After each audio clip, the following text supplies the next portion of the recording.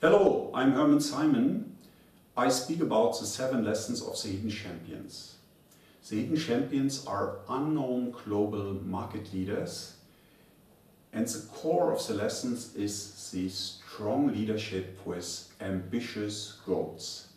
The inner strengths are innovation, depth in what they do and high performance employees. To the outer world, they focus on a narrow market, they're very close to their customers, have clear competitive advantages and all this with a global orientation.